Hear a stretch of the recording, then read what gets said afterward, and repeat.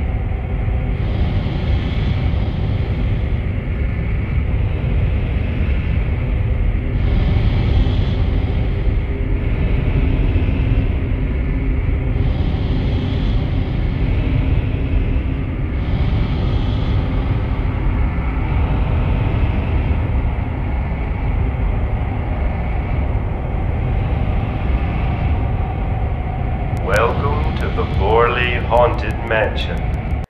We're so glad you came. Please come inside and look around. When you feel you're ready, then go through the door. Help! Help! Do you hear those voices? A family of four was sliced into bloody pieces in this room. The cries of the children. The murderer was caught. Do you know why he said he killed his family? Because I felt I had to! Anyway, I'm lying.